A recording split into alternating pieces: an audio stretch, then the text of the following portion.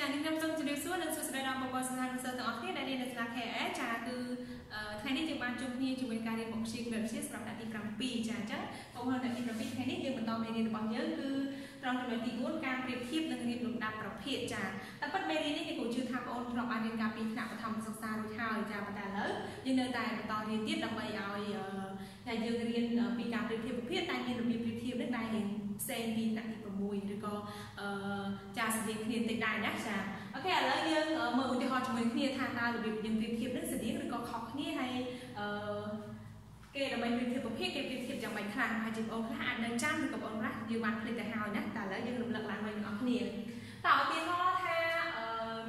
ប្រៀបធៀបប្រភេទក2លើ5និងដក3លើដក3លើ5ចាហើយខ2 7លើ8និង8 លើ5លើ9អញ្ចឹងប្រភេទរបស់យើងយើងឃើញថាមានលក្ខណៈខុសគ្នាតិចតួចអញ្ចឹងខុសគ្នាហ្នឹងយើងប្រៀបធៀបពីយ៉ាងម៉េចអញ្ចឹងយើងមើលជាមួយគ្នា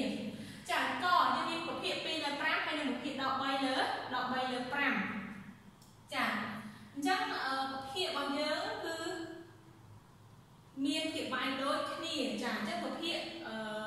បើសិនបើយើងចង់ប្រៀបធៀបប្រភេទទី1គឺយើងត្រូវមើលទៅលើភាពបាយរបស់វាសិនភាពបាយគឺនៅផ្នែកខាងក្រៅនេះប្រសិនបើករណីដែលមាន ភាពបាយដូចគ្នាអញ្ចឹងគឺគេធ្វើការប្រៀបធៀបតាមភាពយកនិងភាពយកទេ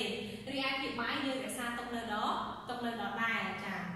គេអញ្ចឹងយើងប្រៀបធៀបភាពបាយនិងភាពបាយមកយើងបានអឺចាយើងឃើញថាយ៉ាងម៉េចដែរចាចាដោយភាពបាយខាងនេះ2ជាមួយនឹង3ជាមួយនឹងដក3ខាងណាធំជាង2និងដក3យើងថា2ជាចំនួនវិជ្ជមានដក3ជាចំនួនអ វិជ្ជមានអញ្ចឹងទីទូទៅចំនួនវិជ្ជមានគឺត្រូវធំជាងចំនួនអវិជ្ជមានអញ្ចឹងយើងបាន2ធំជាងដកធំជាងដក3គឺថាអឺវាជាចំនួនវិជ្ជមានណាចាអញ្ចឹងដោយសារ2ធំជាងដក3ចឹងគេបាន2លើ5ក៏ធំជាងដក3លើដក3លើ5ដែរចាអញ្ចឹងដក2 2លើ3គឺធំជាងដកសំដៅ2លើ5ធំជាងដក3លើដក3លើ5ចាហ្នឹងករណីដែលភាពបាយដូចគ្នា យើងប្រៀបធៀបតែភាពយកអូខេឥឡូវខយើងមាន7លើ8និង8លើ9គឺជាករណីដែលភាពបាយរបស់វានេះចាខុសគ្នាចាអញ្ចឹងប្រសិនបើភាពបាយខុសគ្នាតើគេប្រៀបធៀបយ៉ាងម៉េចចាគឺគេមិនប្រៀបធៀបដូចភាពយកទេគឺគេត្រូវតម្រូវវាឲ្យមានភាពបាយដូចគ្នាសិនចាអញ្ចឹងភាពបាយយើងខុសគ្នាគឺយើងតម្រូវវាដូចគ្នាសិនចាអញ្ចឹងយើងតម្រូវវាដូចគ្នាមកយើងបានអឺ7លើ8ចាដើម្បីឲ្យភាពបាយវាដូចគ្នាឬថាតែយើងយកវាទៅគុណគ្នាឬក៏រកកតាបឋមរួមប៉ុន្តែ8និង9វាអត់មានកតាបឋមរួមទេដោយសារតែអីដោយសារតែ8ស្មើ2ស្មើគុណ3ហើយវាអាច9ស្មើ3ស្មើគុណ2អញ្ចឹងបើយើងគោលខុសគ្នាមានន័យថាអត់មានកតាបឋមរួមទេអញ្ចឹងយើងត្រូវយកវាគុណបញ្ចូលគ្នាចឹងគេបាន8គុណនឹង9ស្មើបានចា8គុណនឹង9ស្មើ72អញ្ចឹងភាពបាយរួមយើងយក72អញ្ចឹង8ដើម្បីបាន72ត្រូវគុណមក9អញ្ចឹងខាងទីយកមកគុណទៅ9ដែរអញ្ចឹង3 9ដង72អញ្ចឹង9 7ដង63ចាអញ្ចឹង7លើ8ស្មើនឹង63លើ70 72រីឯទី2របស់យើង 8លើ9ស្មើដូចគ្នាយើងយក9គុណនឹង5គុណនឹង8ភាសាដើម្បីបាន72យើងគុណខ្វែងមកខាងនេះវិញអញ្ចឹងយើងបាន8ក៏គុណនឹង8ដែរភាសាពីបាយយើងគុណនឹង8អញ្ចឹងពីបាយគឺ9 3ដង72ខាងទឹកយក8 3ដង60 64ចាអញ្ចឹងយើងអឺភាគបាយដូចគ្នាហើយយើងធ្វើការប្រៀបធៀបគ្នាយើងឃើញថា63អានេះ64អញ្ចឹង63គឺជារបស់អឺ 7លើ7លើ8 64លើ72គឺជារបស់8លើ5លើ9អញ្ចឹងដោយអឺ63តូចជាង64នោះយើងបានចា63លើ72ចាយើងអាចផ្សេងជាងមកមក63លើ72តូចជាង 64លើ72នោះយើងបានប្រភេទអឺ7លើ8តូចជាងប្រភេទ8លើ5 9ចាយើងសរសេរបែបហ្នឹងណាចាអញ្ចឹង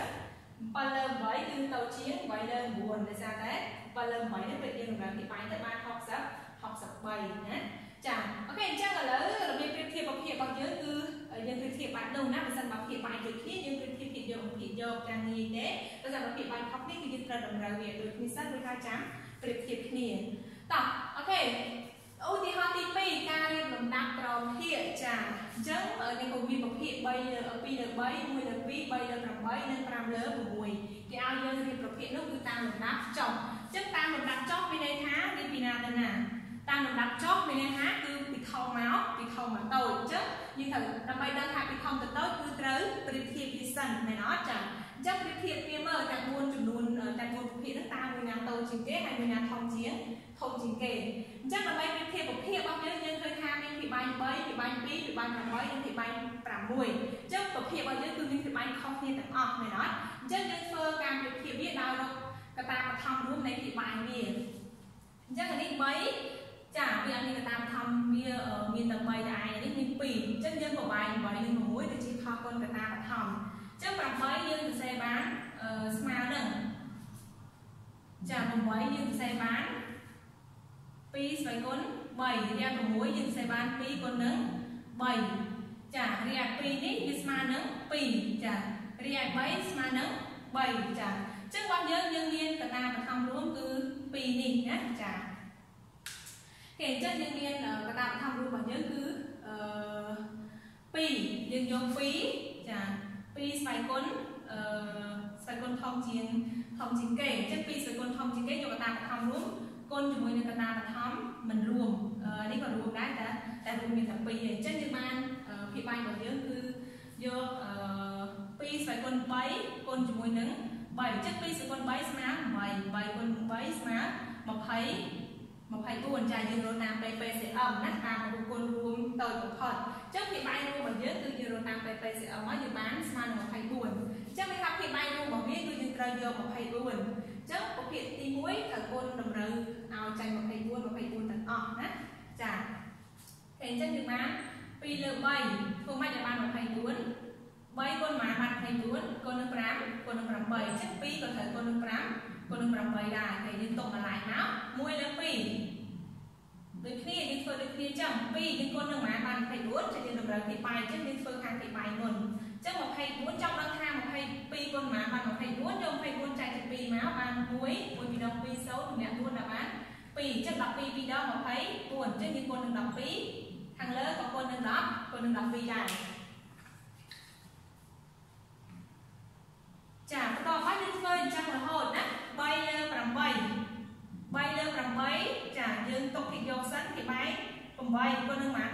9គុណនឹង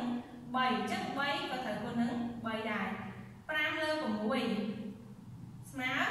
5គុណនឹង6គុណនឹង6គុណនឹង4អញ្ចឹង5ក៏គុណនឹងគុណនឹង4ដែរគេបន្តមកចាំលេខចំណាស់គណនាលេខណាអញ្ចឹងអានេះបាន2 3ដង16លើ24នេះបាន10 12លើ24នេះបាន 9លើ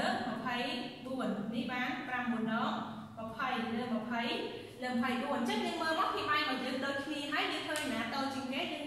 អឺសរសេរមកចានេះតូចជាងគេមែនទេ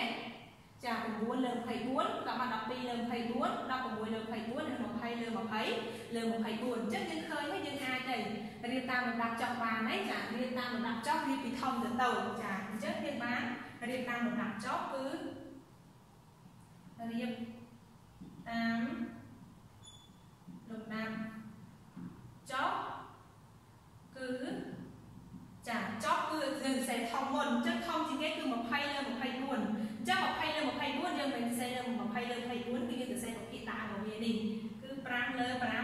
5លើ6បន្តមកម៉ាទៀតអូខេ16លើ20 24 16លើ24គឺជារបស់ប្រភេទ2លើ3អញ្ចឹងយើងបាន2លើ 2លើ3ចាបន្តមក12លើ24គឺរបស់1លើ1លើ2ហើយចុងក្រោយ9លើ24គឺរបស់3លើ5 3លើ5 8ចានេះគឺរៀបតាមលំដាប់ចុះចុះយើងចង់រៀបតាមលំដាប់កើនវិញទៅមិនចាតាមលំដាប់កើនគឺពីតូចទៅពីតូចទៅធំយើងសរសេរទៅច្រាស់មកនេះយើងរៀបតាមលំដាប់ចុះចុះរៀបតាមលំដាប់កើនចាគឺនេះមុនមែនទេចា3លើ8 1លើ2 2លើ3និង5លើ5លើ6ចាអញ្ចឹងរៀបគឺមានតែ2ហ្នឹងឯងតាមលំដាប់កើនហើយនិងលំដាប់លំដាប់ចុះចាអូខេចានេះគឺជារបៀបដែលយើងប្រៀបធៀបហើយនឹងរៀបលំដាប់ប្ររៀបលំដាប់ប្រភេទគឺយើងដើម្បីចេះរៀបលំដាប់គឺត្រូវចេះប្រៀបធៀបសិនហើយដើម្បីចេះប្រៀបធៀបគឺត្រូវដឹងពីនិយមន័យនៃការប្រៀបធៀបអញ្ចឹងការប្រៀបធៀបមានពីរគឺប្រសិនបើភាគបាញ់ដូចគ្នាគេប្រៀបធៀបភាគយកនិងភាគយកហើយប្រសិនបើ ភាគបាញ់ខុសគ្នាគឺគេត្រូវតម្រូវភាគបាញ់ឲ្យដូចគ្នាសិនរួចធ្វើការប្រៀបធៀបភាគយកនិងភាគយកចាអូខេអឺមេរៀនការរៀបចំការប្រៀបធៀបនិងរៀបលំដាប់ប្រភេទរបស់យើងគឺបានលំដាប់ទីបញ្ចប់ហើយហើយនឹងមានលំហាត់ប្រតិបត្តិសម្រាប់បងអូនចានៅខាងឆ្វេងដៃនេះចាគឺរៀបលំដាប់ប្រភេទខាងក្រោមតាមលំដាប់កើអញ្ចឹងមានប្រភេទចំនួន2ចាមានន័យថាមិនមែន2ទេគឺពីសំនួរនៅក្នុងហ្នឹងចាអញ្ចឹងយកលំហាត់ហ្នឹងទៅធ្វើឲ្យរៀបតាមលំដាប់កើណាចាដែលយើងមើលតាម ឧទាហរណ៍នេះមកចាយើងអាចធ្វើតាមនឹងបានណាចាអូខេអរគុណច្រើនការប្រៀបធៀបនឹងរៀបលំដាប់ប្រភេទរបស់យើងគឺបានដល់ទីបញ្ចប់ហើយហើយយើងនឹងបន្តជួបគ្នានៅវីដេអូក្រោយទៀតណាចាសូមខិតខំរៀនទាំងអស់គ្នាហើយជាពិសេសគឺថែទាំសុខភាពអនាម័យទាំងអស់គ្នាណាសង្ឃឹមថានឹងបានជួបបងប្អូននៅពេលឆាប់ៗចាអរគុណច្រើនសូមជម្រាបលា